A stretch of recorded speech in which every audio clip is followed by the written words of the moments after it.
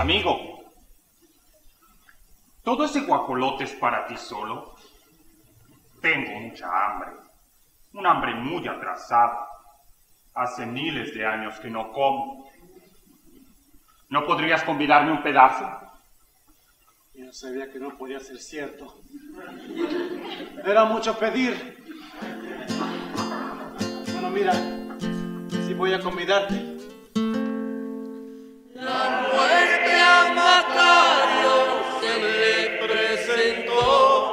Macario con hambre le convidó. Ahí en el bosque, en ese lugar, juntos comieron antes de hablar.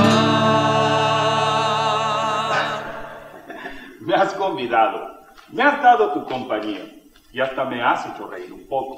Así que estoy en deuda contigo y voy a recompensarte con un precio tan alto como nunca imaginaste. Ven. Ahora vacía tu guaje.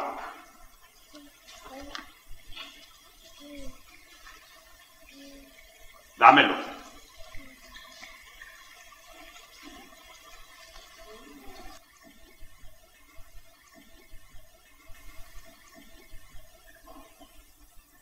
Esta agua, Macario, es capaz de curar cualquier enfermedad, siempre que yo no tenga una razón para ponerme a la salud del enfermo.